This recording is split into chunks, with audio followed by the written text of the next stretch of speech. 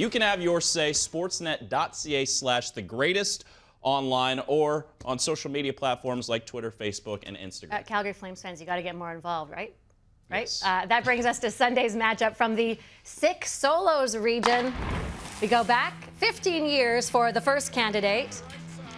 This Jason Spezza OT goal against Montreal.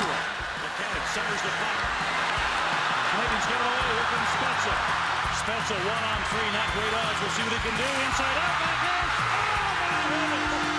Jason Spezza, one on three, beats the odds and wins the game. Oh, doctor, give me the needle. Ay, ay, ay.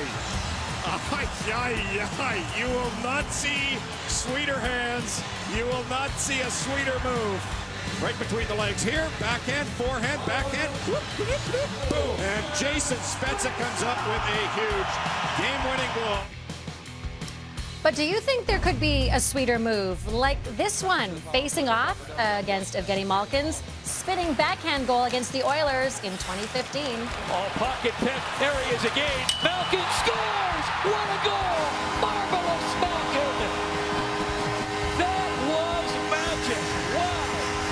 Wow! On pocket.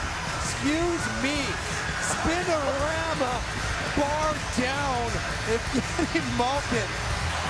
Oh my goodness. Perfect shot.